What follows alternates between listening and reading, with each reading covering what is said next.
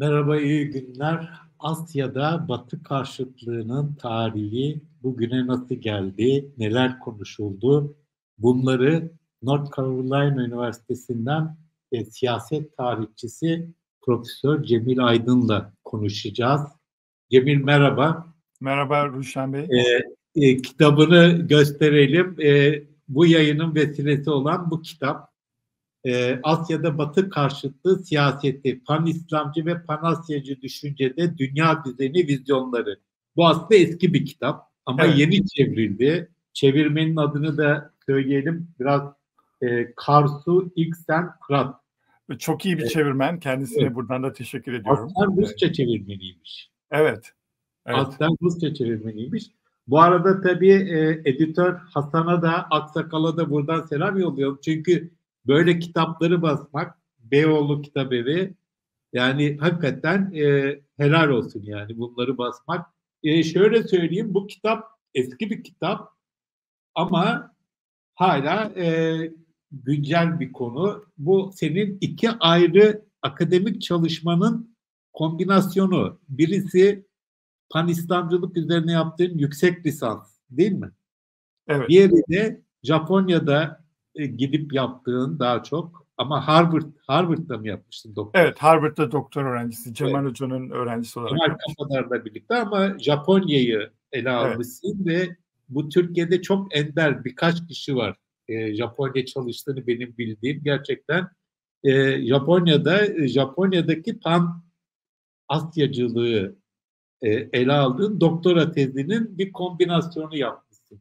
Şimdi Batı karşıtlığı derken ne kastediyoruz? Yıkılsın Batı mı diyorlar? Evet, Batı sorunu e, e, ya da Batı eleştirisi derken işte te, kitabın ana e, tezlerinden bir tanesi de o. Yani olay 11 Eylül sonrası e, Orta Doğu e, bağlamında ele alındığında sanki e, bir medeniyetler çatışmasının parçası olarak ebediyen devam eden yıkılsın batı ya sen ya ben gibi bir mantıkla devam eden bir çatışma gibi görülüyordu. Japonya örneği o anlamda çok faydalı oldu. Çünkü Japonya Asya içerisinde en fazla batılılaşmış, modernleşmiş ve bir anlamda güçlü bir yer, güçlü bir imparatorluk. Ve 1930'ların sonu 40'ların e, Japon e, propagandası, uluslararası siyaseti, entelektüellerine bakıldığı zaman e, sanki 1980'lerin 90'ların e, Asya ve Afrika'da başka bir yerleri yer Orta Doğusu gibi e, çok ciddi bir Batı eleştirisi e, var ve e, bu Batı eleştirisi de e, kitabın ana tezlerinden bir tanesi aslında e, Batı'yı reddetmek değil e, eski Türkiye'deki tabiriyle e, Batı karşıtlığı meselesini taklitçi zihniyet ile işte e, gerici zihniyet e, arasında yorumlamaktan kaçmak lazım diyor kitap ve e, uzun dönem e, Batı karşıtı görülen ülkelerin, imparatorlukların, e, devletlerin asıl amacının aslında Batı merkezli dünya düzenine eşit olarak üye olmak ve o dünya düzeninin e, bir takım e, ayrımcılığını yıkıp kendilerine orada bir yer açmak. E, daha doğrusu Batı merkezi dünya düzenini evrenselleştirmek olduğu teziydi. E, kitabın ana tezlerinden birisi oydu ve üçüncü aslında kitabın hitap ettiği üçüncü grup da Samuel Huntington gibi uluslararası ilişkiler, uluslararası tarih teorisyenleri. kitap zaten aslında kitabı yazdığım ofis Samuel Huntington ofisinin karşısındaydı ve onunla da ee, en azından kafamda o da vardı. Onun o e, katılmadığım tezi de vardı. E, ve kitap aslında belki de bu üçüncü grup için çok önemli bir hale geldi ve son zamanlarda hani dünya düzeni e, çöküyor, dünya düzensizliği var e, tartışmasında kitabın e, söylediği bazı temalar, bazı tezler daha da e, önemli bir hale geldi. Çünkü yani kitabı yazdığım e, yıllarda bile hiç aklıma gelmezdi mesela bir gün Çin devletinin, Komünist Çin Partisi'nin bile Çin medeniyetçiliği üzerinden bir batı eleştirisi yapacağı veya öyle algılanacağı. Yine o dönem hiç aklıma gelmezdi. Dugin gibi o zamanlar marjinal gibi görünen insanların Avrasyacı fikirlerinin aslında işte bir gün gelip... Onları hepsine kadar... teker teker evet, evet. E, şöyle bir şey sormak istiyorum. Ben e, Japonya'daki ya da diğer ülkelerdeki panasyacılığı pek bilmiyorum ama e, kitabın muhtevasında önemli bir yer tutan pan İslamcılığı e, biraz biliyorum. İslamcılık çalıştığım için biliyorum. Ve bu e, okuduğum bütün literatürde hep şöyle bir ikilem vardı. E, bir yanıyla e, Batı'ya karşı bir tepki. Çünkü e, İslam toprakları sömürgeleştiriliyor Hı. vesaire. Bir anti sömürgeci boyutu var. Ama bir yanıyla da bu hareketlerin, pan-İslamcı hareketlerin büyük bir kısmının daha sonra pan-İslamcı denmedi, sadece İslamcı dendi falan ama sonuçta bir öyle bir şey var. Afgani'den başlayarak Cemalettin. Hmm.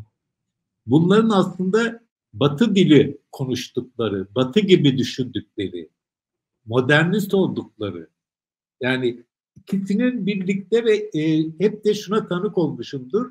İslamcı düşünen insanların, İslamcı aydınların ya da militanların da hep aynı şeyi taşıdığını, o ikilemi taşıdığını gördüm. Hem batıya düşman hem batıya öykünüyor. Yani evet. böyle bir garip bir durum var. Yani bazıları İslamcılığı ilk ortaya çıktı ya da pan-İslamizmi gerçekten bir batı düşmanı olarak tarif ederken batı ile bir meselesi olan ama batı ile son, son tarihte paydaş olmak isteyen evet. değil mi? Evet yani bu güzel bir tarif olur. Özellikle 1940'lara kadar e, Batı karşıtı diye bir grup da yok aslında. Hepsinin e, çok Hegelyen bir e, ütopik e, gelecek tahayyülleri var. E, Batı'nın kusurlarını görüyorlar. En büyük kusuru da tabii diyor Batı insanlık e, vaadi yaptı, sözü verdi ama insanlığa ihanet etti. Yani aydınlanma sözü verdi ama aydınlanmaya ihanet etti. E, oradaki cevap hani Batı çöksün batsın değil, e, ikiyüzlülük eleştirisi ve ikiyüzlülük de aslında yani birini ikiyüzlü olarak e, suçladığın zaman e, onun iyi bir yüzü olduğunu e, kabul etmiş oluyorsun ya da onun iyi bir yüzü olduğunu hatırlatıyorsun. E, burada e, gerek Osmanlı'da gerek Japonya'da e, entelektüel tarih açısından öne, en önemli unsur e, biraz da şunu söylemek Batı'ya evet sizin iyi bir takım değerleriniz, bilim, teknoloji vardı. Bir takım güzel sözleriniz de vardı. Siz ihanet ettiniz. ama biz sizin ihanetiniz sonrasında bu insanlık projesinden vazgeçmiyoruz. Biz insan insanlığı biz size hediye edeceğiz. ve biz bunu tamamlayacağız. Hatta senin ilk sizin ilk kitaplarınızdan birine de referansta bulunacağım. E, hatırlarsın e, bir ayet çok kullanılırdı Soğuk Savaş'ta. Allah nurunu tamamlayacaktır diye çok e, e, Kur'an'dan bir ayet ama e, onu genelde e, İslamcılar biraz bir Hegelyen bir şekilde yorumlarlar. Yani bir e, insanlık projesi, insanlık sözü vardı. E, diyalektik olarak tarih ilerliyor. E, Batı bir takım şeyleri koydu ama e, aynı zamanda buna ihanet etti. Irkçılık var, sömürgecilik var. Avrupalı olmayanlar, Müslümanlar, Asyalılar diyalektik bir şekilde e, buna cevap verip e, insanlık e, hayalini, insanlık tahayyülünü, işte e, e, geleceği tamamlayacaklar ve insanlığın geleceği gerçekten de eşitlik ve özgürlük, e, özgürlüğe doğru gidecek. E, bu anlamda baktığında belki de Osmanlı ve Japonya tarih yazımı için şu söylenebilir. Osmanlı'nın Birinci Dünya Savaşı'nda e, e, Almanya ile beraber e, cihat ilan edip e, yaptığı propagandada yine Japonya'nın İkinci Dünya Savaşı'nda yine tesadüfen Almanya ile ittifak halinde yaptığı e, ve onların da aslında kutsal savaş dediği Asyacı cihatta e, bunları yapanlar muhafazakar olup e, e, Japonya'yı ve Osmanlı'yı batıdan uzaklaşmak isteyen kişiler değil. Bunların hepsi aynı zamanda e, Jön Türkler gibi ya da Japon liberal elitleri gibi Batı'yı çok iyi bilen, Batı ile beraber olan insanlar ve çok e, jeopolitik e, güvenlik e, ve entelektüel kaygılarla ülkelerini böyle işte Batı'ya meydan okuyan bir yere doğru itiyorlar ve savaş bitip işte Lozan sonrası veya Japonya e, Amerika'ya yenildikten sonra e, tekrar ülkeyi kurarken e, bu bunu yaparken kendileri değişik stratejik sebeplerle Avrupalıların yanlış bir şekilde anlattığı e, sizi savaşa işte Batı karşıtı muhafazakarlıklar sürükledi tezini pişirip onlar da sunuyorlar. Yani şöyle düşünelim Japonya'da aslında 1939-45 arası savaşı yapanla 33 öncesi Japon batıcıları ve 45 sonrası Japonya yönetenler aynı insanlar. Yani kişiler olarak da aynı.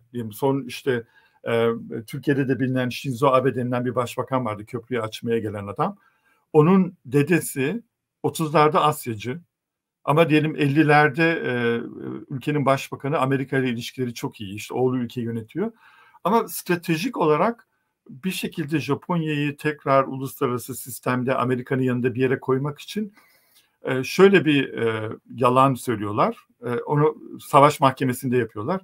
Biz aslında iyiye gidiyorduk da ülkeyi sağcı Asyacılar ele geçirdi. İşte onların suçu ne yapalım? Yani onlar da gittiler, yenildiler. Şimdi ülke tekrar e, batıcıların eline geçiyor. Türkiye'de de yaparlar bunu. Japonya demişken hep e, düşündüğüm şöyle bir sorun var, e, soru var. Şimdi senin kitaba baktığımda da onu gördüm. Asya ya baktığımızda Japonya önemli bir ülke ama en büyük ülke değil. Orada evet. çok büyük ülkeler var. Çin var, Hindistan var vesaire. Hele bu ele aldığım bölümlerde Hindistan bölünmemiş. Değil mi? Evet yani? tabii. Evet tabii. Ama e, Japonya'nın bu anti-batı söylemlerinin geliştiği bir yerde aynı zamanda anladığım kadarıyla Japonya'nın Asya'nın hükümdarı, hükümranı evet. olma iddiası var. Yani bu e, pratikte nasıl olabiliyor? Yani evet. küçük bir ülke bu kadar büyük bir kıtayı nasıl tahakküm altına alabiliyor ya da almak evet. isteyebiliyor? Evet orada tabii Japonlar ona şey diyorlar abisi olma. Yani e, Japonya'nın e, en büyük handikapı zaten e, Asya'nın abisi ve lideri olma iddiası. Yani Asya'yı özgürleştirme iddiası yaptığı dönemde Çin'in Çin'i işgal ediyordu. Çin'in belli bir yerini ve Kore e, 1910 ile 1945 arası Japonya'nın parçasıydı öyle e, işgal altındaydı. O, o da işte Japonya'nın iki yüzlü tarafı oluyor. Onu tartışıyorlar kendi aralarında. E, e, orada tabii Çin'in durumu, yani Çin'in bölünmüş olması aslında Japon Asyacılığına ilham veren kaynaklardan bir tanesi. Yani Çin bizim abimizdi ama bak Batı sömürgeciliği Çin'i ne hale getirdi. Biz e, gelişmede, güçlenmede Çin'den bir adım öndeyiz e, biz onlara abilik edelim e, diyorlardı. O tabii Japonya'nın çelişkisi olarak e, e, üzerine vurgulansa bile e, şunu söyleyebiliriz. E, yani geriye dönüp baktığımızda aslında yani ben, ben kitabı yazdıktan sonra bu uluslararası tarihte artık kabul edilir oldu ama bizim çabalarımız da oldu biraz da. Uluslararası tarih e, böyle işte e, melekler ve şeytanlar arasında yani uluslararası tarihte bazı değerlerin yerleşmesi e, iyi insanlarla kötüler arasındaki mücadele değil. Bazen de Japonya gibi aktörlerin veya Osmanlı gibi aktörlerin e, Avrupa'ya meydan okuması sebebiyle oluyor. Yani Japonya'nın İkinci Dünya Savaşı Almanya'nın İkinci Dünya Savaşı'ndan çok farklı. E, Japonya bir imparatorluk olsa ve Çin'de zulüm yapmış olsa bile iyi kötü e, kendi e, e, dünya düzeni anlayışı içerisinde ırkçılığı kaldırmaya çalışıyor, Asya'yı özgürleştirmeye çalışıyor ve biraz da onların Avrupa'daki İngiliz ve Fransız imparatorluğunu yıkması ve zayıflatması sebebiyle Amerika müdahale edip Birleşmiş Milletleri kuruyor ki zaten Japonların da kendi bir e, Birleşmiş Milletler projesi var. E, dolayısıyla orada Japon Asyacılığını her türlü ikiyüzlülüğüne ve zaaflarına rağmen belki de uluslararası dünya düzeninde imparatorlukların çöküp bizim bildiğimiz ulus devletlere dayalı daha özgür bir Asya'nın kurulmasında katkı bulunmuş olduğunu söyleyebiliyoruz. Artık buna hani Avrupa merkezli tarihçiler de kabul ediyorlar büyük bir kısmı. Çin konusu da çok önemli. Çin tabii zayıf olduğu için yani başlangıçta Çin de Asyacı. Ee, özellikle e, benim en çok sevdiğim Çin Asyacısı Çin'in kurucu e, Cumhurbaşkanı var Sun Yat-sen. Türkiye'yi de çok seven birisi. Ee, 1920'lerde aslında e, Asyacılık üzerine çok iyi bir e, konuşması da var onun. E, hem Türkiye'den hem de Japonya'dan hem Atatürk'ten ve hem de Japonya'nın başarılarından bahsediyor. Ee, Çin'in handikapı şu oldu, zayıf olduğu için uzun bir dönem bir de e, komünist dönemdeki izolasyonu sebebiyle bunun dışında kaldı ama benim kitabı yazdığım yıl ile bugün arasındaki en büyük fark Çin Japonya'dan daha güçlü olduğu için ironik bir şekilde aslında Asyacılığın mirasını şu anda Çin devraldı ve Japonlar biraz geri çekildiler. Ee, yani 1900 2000'lere kadar yani Asya'nın birliği olsun denildiği zaman e, şöyle bir anlayış vardı. Yani böyle bir birlik olursa işte e, Japonya yeni en gelişmiş ülke. O biraz abilik eder. Hindistan var, Çin var. Ama şimdi Asya'nın birliği olduğu dendiği zaman e, şey yani Çin'in ve Hindistan'ın e, kardeşliği ve abiliği e, en azından kabul ediliyor.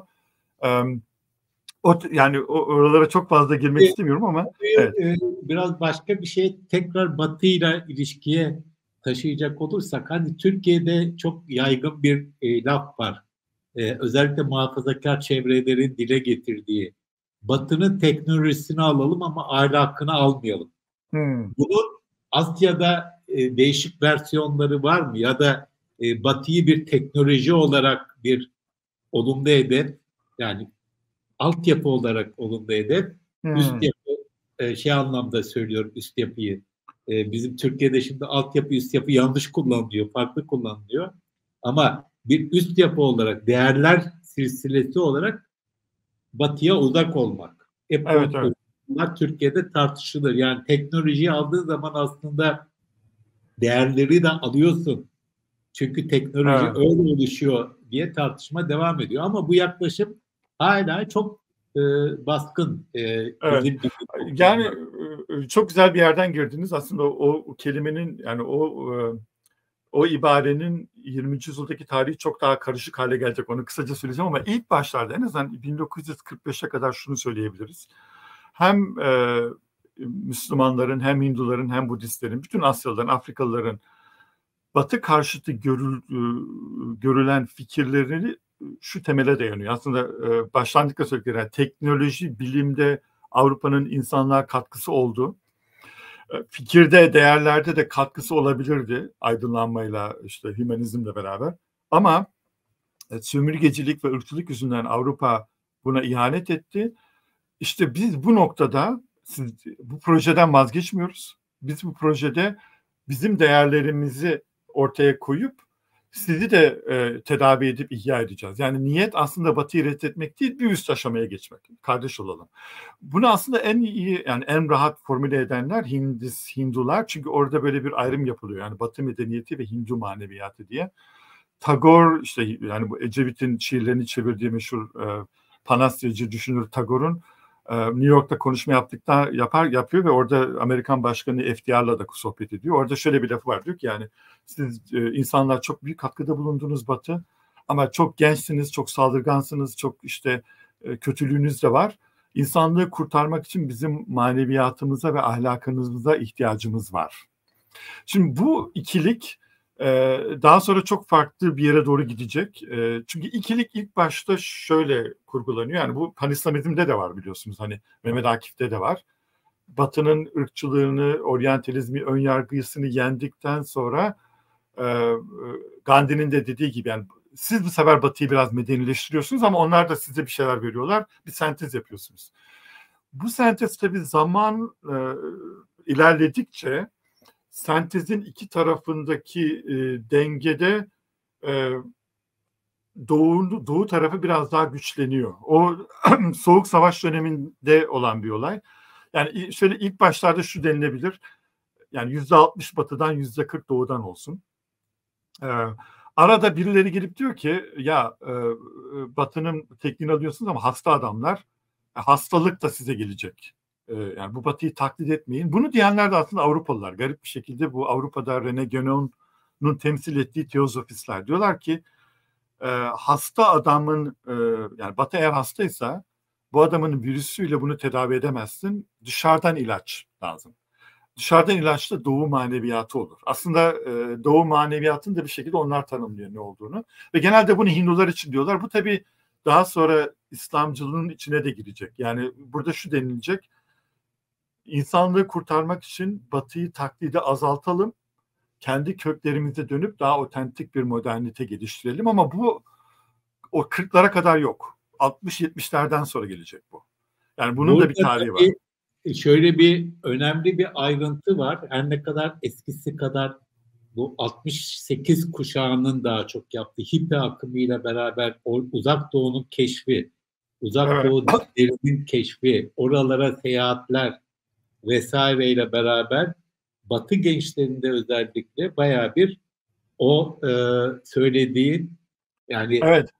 onların söylediğine e, icabet eden bir nesil yetişti aslında ama onun e, popüler kültürü, onun müzikleri vesairesi, uyuşturucu, şu bu falan tabii, tabii. dönem oldu ama o sanki kapandı. Şimdi daha çok böyle bir orta sınıf, üst orta sınıf yoga falan gibi şeylerle evet. e, devam ediyor. Eskisi gibi daha böyle aşağıdan gelen bir e, doğu e, dinlerine, inançlarına, kültürüne e, Batı'nın yatkınlığı bir dönem bir e, hala tek tük vardır herhalde ama. Var e, ve bunun şöyle bir yanı da var biraz e, Türkiye e, yani dinleyicilere Türkiye'deki çevrelerin ve entelektüel tarihi hatırlatmak açısından da ilginç bir anekdot da var. E, biliyorsunuz Celal Ali Ahmet'in bir kitabı vardır. Gabze'deki Türkçe'ye de çevrildi. Daha sonra Ali Şeriati de e, Şeriati'de de ilham kaynağı oluyor bu. E, orada o, o ekip e, biraz Fransa'daki varoluşçuluktan ve Cemil Meriç'in de aşina olduğu Fransız doğucularından da etkileniyorlar. Yani Fransa'da da öyle bir grup var. Batı iflas etti. Dünyanın geleceği Afrika'da, Asya'da olabilir diye. İşte o bağlamda çok ilginç. Ben de okuyunca şaşırmıştım. Türkiye'de Yaralı Bilinç isimli kitabı çevrilen bir düşünür var. Yine Fransa eğitimli. Darius Şayagan İran'da eğitim almış. O da 70'lerde Cemil Meriç'e çok benziyor. Şeyle çalışmış. Henry Corbin'le çalışıyor. Genonu çok ben iyi biliyor. Röportaj yapmıştım. Öyle mi? Ha evet. İran'a gittiğimde ilk röportaj yaptığım kişidir. Çok Öyle mi? Peki Darius Şaygın'ı dediniz mi? 1977-78'de 78'de Le Monde'da mülakatta o zaman işte Hümeyni Fransa'ya yeni gidiyor. Hümeyni'yi Gandhi'ye benzetiyor. Aslında çok zekice bir benzetme. Yani diyor ki evet e, yani o da bir e, maneviyatla e, işte şu anki modernite krizine çözüm bulmaya çalışıyor. Çünkü biliyorsun Hümeyni Gandhi'nin ünvanından bir tanesi Mahatma'dır. Onu beyaz teozofistler veriyorlar. Büyük ruh demek Mahatma ve Cinnah ve bazı milliyetçiler çok kızıyorlar diyor. Yani sen seküler bir ulusal hareketin liderisin. Kendine niye böyle büyük bir ruh e, ünvanı veriyorsun. E, Hümeyni'nin ünvanından bir tanesi de biraz Ruhullah'tı. E, daha sonra tabii Şayagan e, pişman oluyor e, bu tezleri ve çok farklı bir yere gidiyor. Yani 70'lerin sonunda e, Işık Doğu'dan Gelir e, diye bir kitap yazdı. Ondan sonra 80'lerde hatta 2000'de tersine e, Işık Batı'dan Gelir kitabı yazıyor. İşte arada da e, kültürel şizofreni e, kitabını yazdı. E, o anlamda şey var yani 70'lerde 80'lerde e, Batı modernitesinin krizi ama bunlar hep de uluslararası düzen krizi aynı zamanda. İşte Filistin meselesi yine bu krizi hatırlatan, e, sürekli hatırlatan unsurlardan bir tanesi. O krizde çok klişe bir şekilde çözüm olarak Doğu'nun maneviyatına gidelim deniliyor. E, ve kısmen de aslında e, e, İslamcılık yani Soğuk Savaş sonundaki İslamcılık biraz da bu tür ekollerden etkilenerek e, e, daha da e, güvenli yani kendine güvenir bir şekilde e, ortaya çıkıyor. Son bir ütopya olarak İran'da. E, ama benim yani kitabı yazdığım konu panislamizm ve panastacılık o, o konu süreklilikleri olsa bile Soğuk Savaş İslamcılığından henüz farklı. Çünkü 1910'larda 20'lerde hem Osmanlı'da hem Japonya'da hem Çin'de herkes aslında bir anlamda Asyacı veya İslamcı. Çünkü onun hani ırkileştirilmiş bir kimlikle alakası var. Yani Türkiye için de. Bir de şöyle bir husus var. E, kitapta çok önemli bir ayrıntı.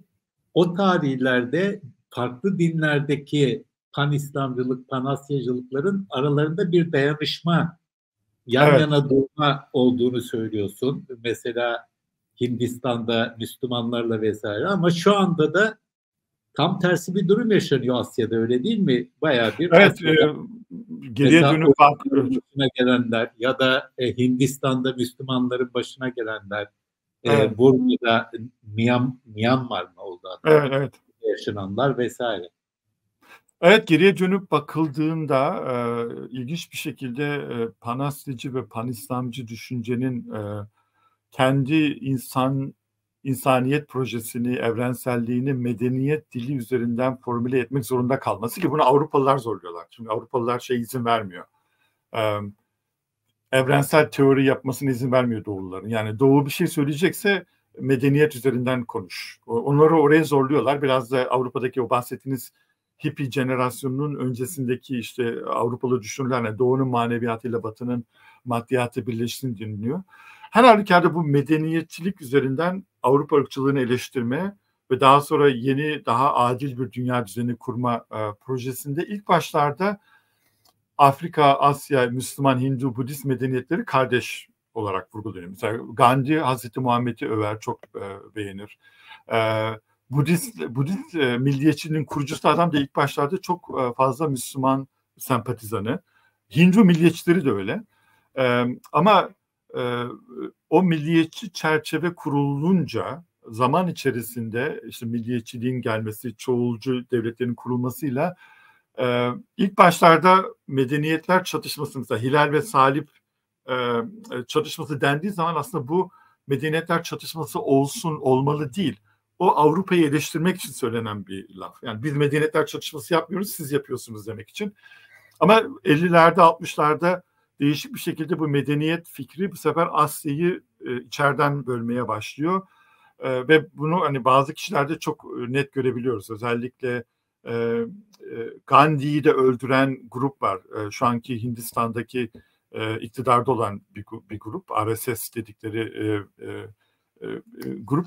Biraz böyle Hindu Hinduizmin Müslüman kardeşleri gibi bir grup.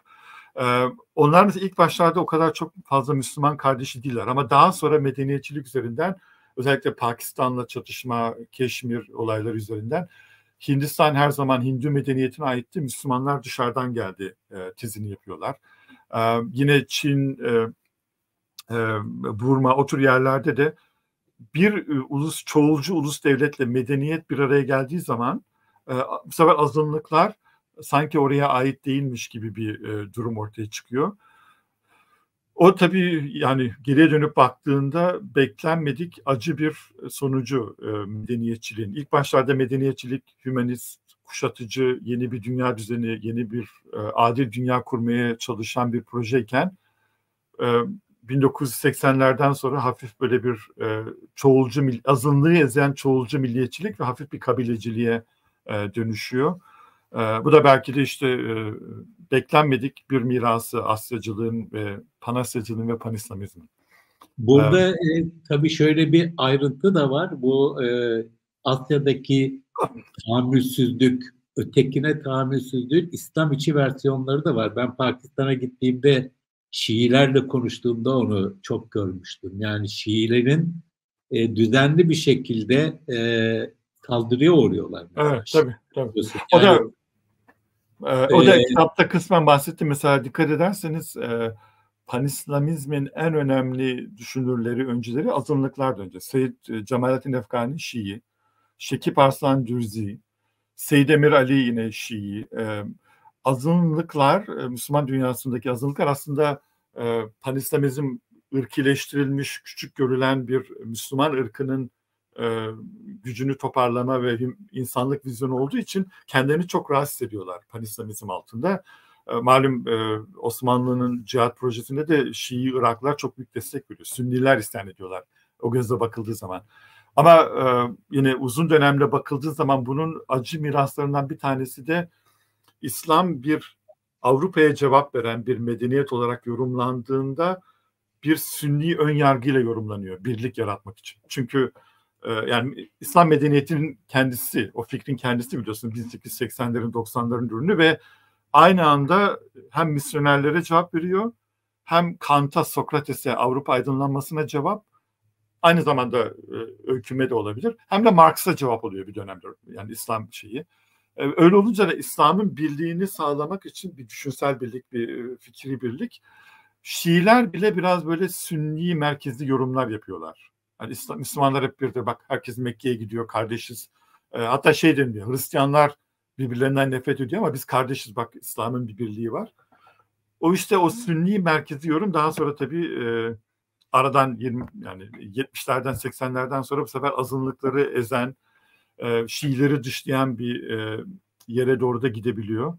Onu belki de en iyi gördüğümüz isimlerden bir tanesi Muhammed İkbal. Yani o, o mesela e, o garip bir şekilde Ahmedileri e, dışlıyor ama muhafazakarlığından değil. Yani Ahmedileri sevmemesinin yani Ahmedileri dışlamasının sebebi Avrupa felsefesi Muhammed İkbal'de. Çünkü Ahmedilerde biliyorsunuz şey var. Hazreti Muhammed'den sonra Ahmedi imamlar da e, ilham alabiliyorlar. Yani bir onlara zaten peygamber diyorlar. Tasavvufta da bunun örnekleri var. ilham alıyor. Şimdi Muhammed İkbal'in bunlara kızmasının sebebi şu. Kendisi çok Hegelci olduğu için Hazreti Muhammed de şeyi bitirmek istiyor. E, Allah'ın insanlığa müdahalesini bitirmek istiyor ki ondan sonra insanlık kendi içinde evrimini yaratsın, diyalektik olarak ilerlesin. O ona ondan karşı ama 1970'lere 80'lere gel, gelindiğinde Ahmediler Müslüman bile sayılmayan bir azınlık oluyor ki yani çelişkileri anlatamam. Biliyorsun Pakistan'ın ilk Dışişleri Bakanı Ahmedi. Nükleer silah e, bombayı yapan adam Ahmedi. Ve bu adamlar hani bu kadar Pakistan milliyetçiliğine olmasına rağmen işte bu Sünni şövenizmin kurbanı olarak şu an Müslüman bile sayılmıyorlar ülkede. Şiiler bu sefer. Kitabın e, baskısını aldığın sonuçta çok e, dikkatimi çeken hususlardan birisi de diyorsun ki keşke e, Pan Afrikacı ya da Pan Afrikacılık değil mi? Pan Afrikacılık evet. da e, değinebilseydim diyorsun. Yani bunu evet. bir ben açıkçası Panafrikacılığı bir zamanlar çok eskiden duyardım ama son dönemde e, böyle bir şey var mı? Kim bunun lideri olabilir? Kim bunun hmm. başına çekebilir? Açıkçası biraz şey oldum, irkildim. Yani az buçuk Afrika'ya ilgim var da yani böyle bir e, Afrika'da böyle bir hareket olduğunu açıkçası bilmiyordum. Var mı hakikaten? Hem var hem de şu anda en azından uluslararası ilişkiler teorisinde e, beyaz adamın da yani Avrupalıların ve Amerikalıların da okuyup fikir aldığı isimler de var. Yani işte e, Amerika'daki Malcolm X de olsun veya Franz Fanon e, onların e, babası sayılabilecek onların cemaletin efkanesi olan W.E.B. Du Bois var. Yani burada çok önemli bir e, siyahi entelektüeller. Onlar e, e, kurucu yani dünya düzeninde e, daha eşit bir e, e, daha adil bir dünya düzeni, e, yeni bir dünya yaratmak isteyen kurucu düşünürler olarak görülüyor ve e, dikkat ederseniz şey e, filmi, e, Black Panther filmin Türkçe'ye nasıl çevrildi? Siyah Panter mi diye çevirdiler? Kara Panter.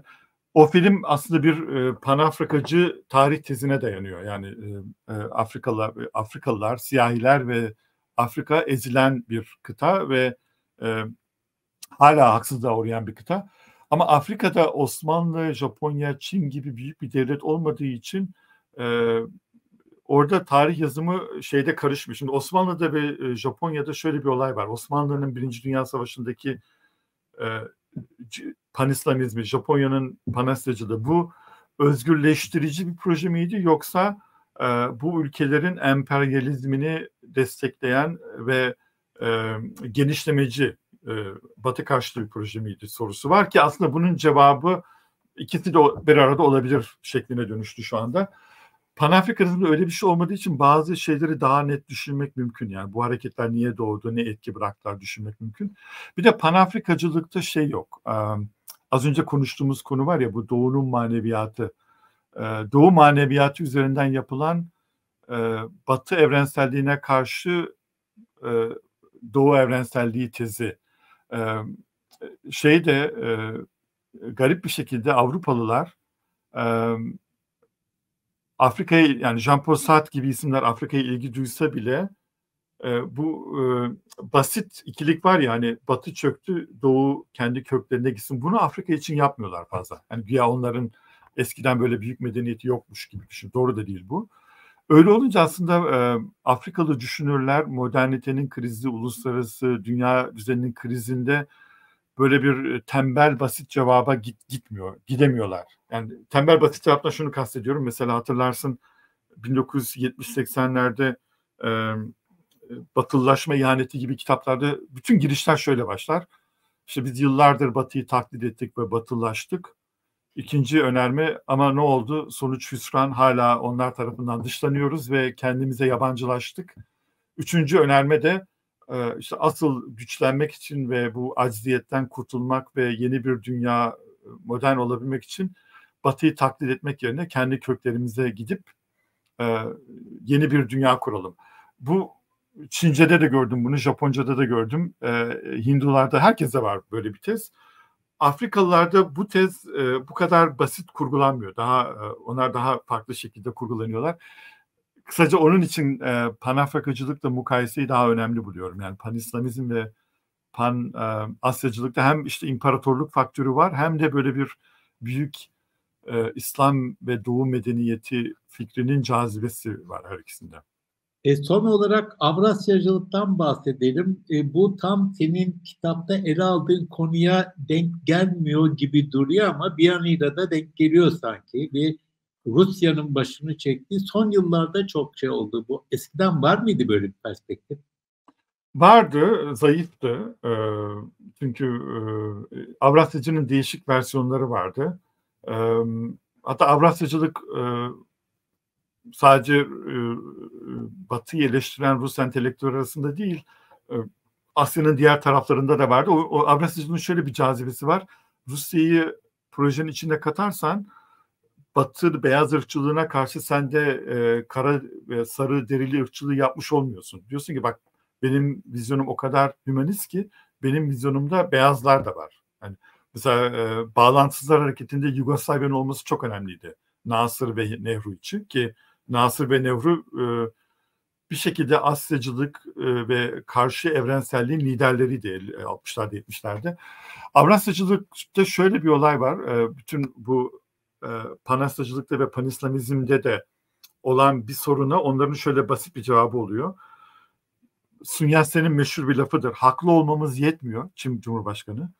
Haklı olmakla bizi sömüren adamları ikna edemiyoruz. Yani adamların 200'lüğüne ne kadar yüzüne vursam bile ona devam edebiliyorlar. Bir yerde güç sahibi olmamız lazım. Ee, Sun Yat-sen ona söyledi ki bak Türkiye nasıl başardı? Yıllardır konuşuyordu konuşuyordu ama Kurtuluş Savaşı'nda bir şekilde savaştılar ve işte Avrupa'nın desteklediği Yunanları yendiler. Orada Türkiye yanlısı. Japonya'nın askeri gücünü de seviyor. Avrasyacılarda şöyle bir şey var. Yani Rusya'nın bir gücü var. Rusya bu gücünü e, e, Avrupa'nın ikinci sınıf vatandaşı, ikinci sınıf üyesi olmaktansa bir Avrasya Birliği'nin abisi, lideri olarak kullanabilir.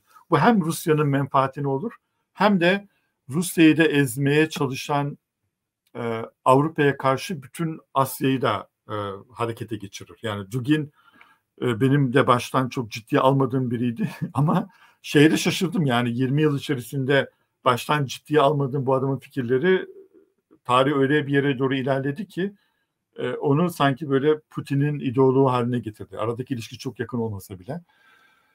Evet Avrasyacılığın böyle bir e, e, cazibesi var Rusya için ve biraz da bu büyük e, yani Batı karşıtı duyguların, tarih bilincinin izleri sebebiyle dikkat edersen Çin'de, Hindistan'da, Afrika'da e, Rusya Ukrayna işgal ettiğinde ilk günlerde bir tepki vardı ama ondan sonra milletin sesi kesildi. E, çünkü orada hemen şeyi fark ettiler tarihi hafızayla. Tamam Rusya emperyalizm yapıyor onlar da zaten beyaz adam ama bu Avrupa'nın yaptığı da onların kendi üstünlüğünü teyit etmenin ötesine gitmiyor. Ee, onun için çok dikkatli davranıyorlar. Yani sütten ağzı yanan yoğurdu üfleyerek gelmiş gibi. Ee, böyle bir e, Rus afyasıcılığının yarattığı bir e, e, dünya kamuoyu kırılması da var. Ee, Sonuçta ama baktığımızda sanki bütün bu panla başlayan şeylerde ya da Avrasyacılığı da pan Avrasyacılık olarak alırsak aslında bir yerde dönüp dolaşıp bir takım imparatorlukların yeniden ihya edilmesi özlemi dipten dibe var. Mesela Rusya'nın Avrasyacılığında da herhalde Çarlık ve hatta Sovyet Rusya'nın eski gücünü yeniden yakalamak. Evet. E, Japonya'da, e, Pan-İslamizm'de özellikle e, Osmanlı İmparatorluğu'nu tekrar ihya etmek gibi böyle bir e, zeminden sanki geliyorlar gibi. Evet bu yani bu faktör her zaman var yani o, o, imparatorluk vizyonunun kendisi de e, Batı'yı Batı emperyalizmi eleştirenlerin e, çelişkisi ve ikiyüzlülüğü olabiliyor. E, ama Rusya konusunda şunu diyebilirim yani pan-İslamcılar da pan-İslamcılar da Rusya konusunu çok düşündüler özellikle Rus devriminden sonra. Onların şöyle bir kriteri var yani Rusya ne kadar ezilmiş insanlardan yana olursa bize aittir. Ama e, ezilmişlerden yana değil de öbür tarafa da kayabilir. Yani sosyalist döneminde bile e, Stalin döneminde veya Rusya'nın Sovyetler Birliği olduğu döneminde bu ayrım sürekli yapılıyor. Rusya gerçekten bizim yanımızda mı yoksa e, e, 200 olup tekrar Avrupa'nın yanına yanaşacak mı ikilimi yap, yapılıyor. Ama şu denilebilir yani belki de hepsinin ortak bir yanı var mı diye cevap verdiğin zaman hepsinin bir ortak yanı şu gerçekten de dünya düzeninde bir kriz var. Yani bu bu hayali bir krizde değil.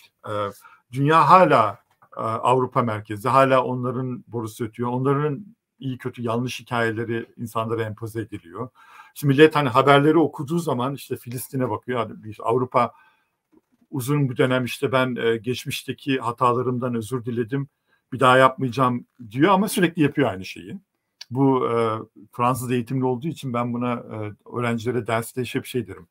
Fransız sol teorisi derim. İnsan, Fransız sol insanlık teorisi. Yani Fransa şunu, Fransız sol hep şunu der. İşte biz Fransız devrimini yaptık, aydınlanmayı yaptık. Hatalarımız oldu ama bize güvenin, biz bu hataları içeriden düzelteceğiz, bizimle beraber çalışın. Yani eninde sonunda Fransızlar yine üste çıkardı. Yani işte Fransız devriminde erkeklerden onu genişleteceğiz, biz Fransa'yı adam edeceğiz, beraber çalışalım şeyi. Ama bir türlü Avrupa'da oraya gelmedi. Hatta Avrupa'da şu anda çok tersten bir muhafazakar canlanış var. Hem liberallerde hem sağcılarda. Şimdi bu krizde Avrupalıların açıklaması şu. Biz güçlü olduğumuz zaman hatalarımızla, günahımızla beraber biz kendi evrensel değerlerimizi empoze edince dünyada düzen oluyordu. Şimdi Rusya ve Çin güçlendi, Hindistan güçlendi. Bunların değerleri çok farklı. Onun için düzensizlik var. Benim kitabın anlatmaya çalıştığı işte tam da burada hikaye çok yanlış. Yani Çin'de, Japonya'da, Osmanlı'da Avrupa ile savaştıkları zaman aslında e, Batı değerlerine alternatif değerler için savaşmıyorlar. Batı'nın kabul ettikleri değerlerini alıp onların üzerine daha evrensel değerler kurup aslında onlar biraz e, daha eşitlikçi, daha özgür bir dünya düzeni kurmak istiyordu. Evet, Buna burada karşı...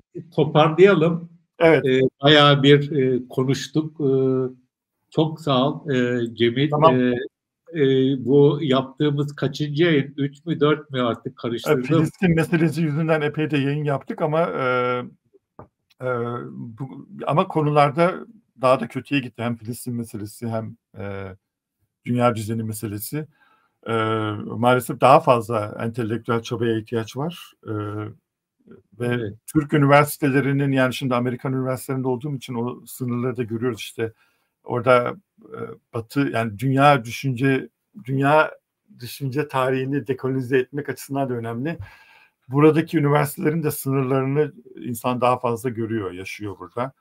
Ama alternatif ne onu bilmiyoruz tabii. Yani o anlamda Türkiye'nin, Hindistan'ın, Japonya'nın, Çin'in oradaki insanların hikayelerinin perspektifinin de e, e, daha fazla öne çıkıp e, yeni yeniden e, düşünce tarihini ve e, işbirliğini ihya etmek lazım. Belki de son olarak şu da denilebilir.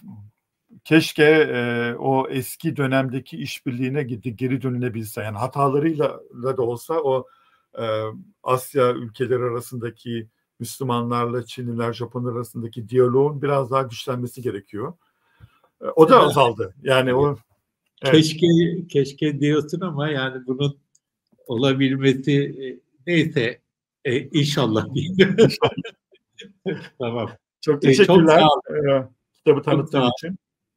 Evet, e, teknik izleyicilerimize gösterelim. Asya'da e, Batı karşıtı e, Batı karşıtı siyaseti.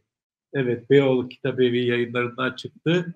Evet. Çok teşekkürler. E, teşekkürler Rüşen Bey. Kitabı tanıtınız için. Bir başka vesileyle yine birlikte oluruz. Ee, iyi günler. İyi günler, sağ olun.